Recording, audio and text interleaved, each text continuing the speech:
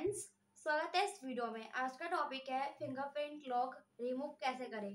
तो फ्रेंड्स मेरे पास ये है इन्फिनिक्स का फ़ोन और वीडियो स्टार्ट करने से पहले मेरे चैनल पर पहली बार आए तो प्लीज़ मेरे चैनल को सब्सक्राइब कर लीजिएगा और मेरी वीडियो को लाइक कर लीजिएगा। तो आप देख सकते हैं कि मेरे फ़ोन में फिंगरप्रिंट लॉक लग, लग रखा है। तो कैसे हटाएँगे वो बताऊँगी। आपको ओपन करना है सेटिंग यहाँ पे आपको इस पर क्लिक करना है सिक्योरिटी पर। फिर यहाँ पे आपको फिंगरप्रिंट पे क्लिक करना है। जो आपने लॉक लगा रखा है वो खोलना है। फिर फिंगरप्रिंट वन पे क्लिक करना है। यहाँ पे डिलीट का ऑप्शन मिलेगा।